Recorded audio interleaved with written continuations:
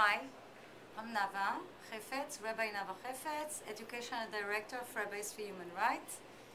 Uh, in the framework of our uh, department, we are trying to reach the Israeli public, the Israeli society, in order to bring a rabbinic and humanistic voice uh, concerning human rights, violation of human rights in Israel. We operate in uh, various fields, among uh, pre-army academies, a little bit with the army, and mainly with students, because this is the next generation of leaders of Israel. We have developed a curriculum based on the Declaration of Independence of the State of Israel. We compiled it as a Talmud in Talmudic style, and we're trying to have uh, dialogue uh, with all the generations of uh, scholars and sages and uh, leaders uh, that uh, wrote about Jewish values concerning human beings. Um, in the declaration, we are trying to show that Judaism on one hand and uh, human rights and democracy can be combined together and that uh, there is no contradiction. Of course, in Jewish sources, we can find all kinds of voices, racist voices and voices that try to separate between people, but there are also a lot of humanistic voices. And we would like these voices to emerge and uh, to be heard in the Israeli society, especially as rabbis, because most rabbis in Israel are bringing a different, um, a, a different discourse. How many people have you, has Rabbis for Human Rights in Israel taught over the years through its education programs? Thousands. And can you tell me a little bit about um, specifically the pre-military academies and the the the soldiers that you work with? What what is unique about those programs? Okay, there is a phenomenon today in the Israeli society that uh, an important number of young Israelis who just graduate from high school postpone the army and they go to study and to do some volunteering work in pre-academy uh, centers. Those centers are located mainly in kibbutzim, from Ma'ayan Baruch in the north, in the Upper Galilee, and Kfar Anasi, up to uh, the south of the Negev, the College of Sde. And uh, we're teaching in nine pre-army academies. There are almost 30 that are mixed religious Israelis and secular Israelis. Um, and these young Israelis are taking this year before the army as a preparation for the army. But what is happening inside these academies is that they are studying philosophy and uh, Zionism and uh, human rights, which is our course. It's a U course. It's not, you know, one once in a while. Um, they study leadership uh, empowerment, and uh, they are learning about the Israeli society. So in this framework of the academies, um, we are coming in uh, in a year course, but also we are trying to bring other organizations like Combatants for Peace, uh, Breaking the Silence, uh, B'Tselem, but it is our uh, we actually became some kind of consultant to those head of academies. Uh, we're in a very good relationship with them.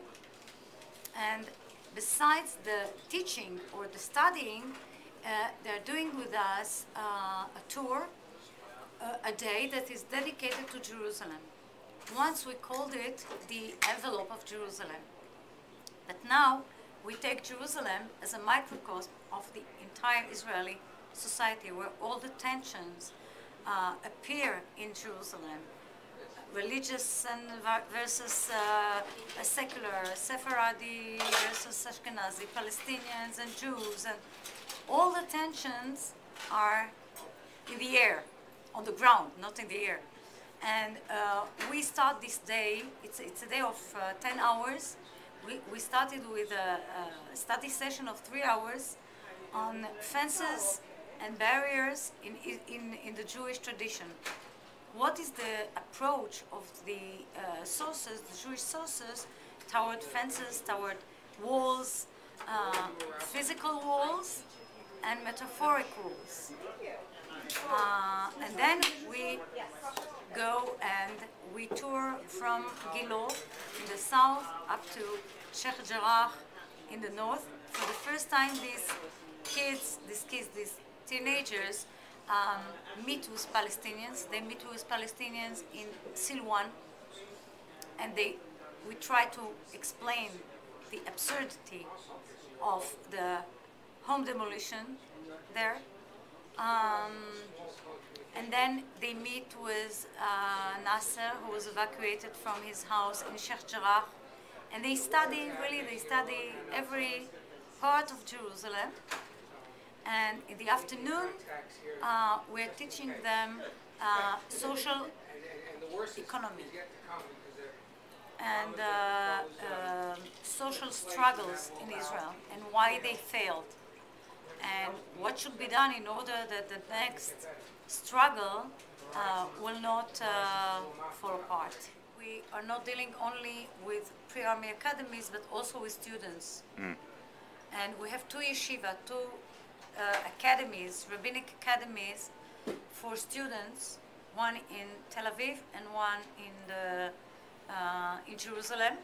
20 students in each study various topics of human rights and we are training them to become activists in the Israeli society. So they also they volunteer. They do some uh, volunteering work uh, among various uh, human rights organizations. This year we started a new program in the Sapir College that we call Citizens for Equality. And we recruited 10 Bedouin students and 10 Jewish students, both as citizens both are meant to be equal in the state of Israel, but the gap is huge. And the Bedouin women that came to Sapir College to study are doing a revolution within the Bedouin society. They are fighting against their father, they are fighting against their brothers, their husbands, and they understand that in order to pull themselves out of poverty and of discrimination, they must accede to um, education, high education. And the Sapir College is really, they open the doors for, for these, uh, uh, these students, and they are going to study the status of women in the public sphere and in the religious sphere because the power that the men have over the women are through religion. And it's true in the Jewish society, and it is true in the Bedouin society, in the Palestinian society. Uh, so this is, uh, and they're, they're, going to study together. Uh, for how long? For two, for three years, and they get credits for their BA, and also they're studying and they're going to undertake some projects, but together, Jews, Jewish uh, students, and Bedouin students, because there is such a, um, there are no contacts between the populations in Israel. Decided this year, uh, the new program, that it's going to be only for women, because I believe, I strongly believe that women have a special gift to uh, to bring re reconciliation. They have uh, a tremendous role in bringing peace, but the men keep pushing them out of the public sphere. And we would like to empower women in order to become leaders of their communities and to, to, to take action.